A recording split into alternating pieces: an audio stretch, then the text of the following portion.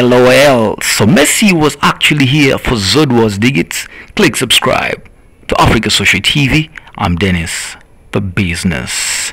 Now, DJ Tira almost started a stampede on the Twitter streets when he jokingly suggested football superstar Lionel Messi when he came to Mzansi to meet our national key point, Zodwa Wabantu. While the Stars' arrival for a match between Barcelona and Sundowns on Wednesday had us all spazzing out and brought the country to a virtual standstill, a photoshopped tweet from a fake Messi's account addressed Zodwa and said he was automatically on his way to come see her. As you can see the tweet over there and some reactions from South Africans. Now at Babes Wodumo friend says, I hope you got the message Zodwa Wabantu.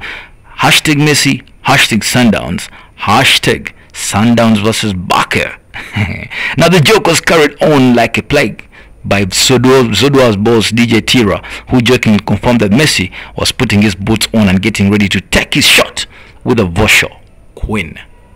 Zodwa has been having such like a time in Australia that she said she may never come back. Of course, all of that changed when she heard that Messi was waiting. But there are two problems. Messi has a wife and kids, as for Zodwa, isn't a home wrecker. Click subscribe to Africa Social TV. I'm Dennis, the business.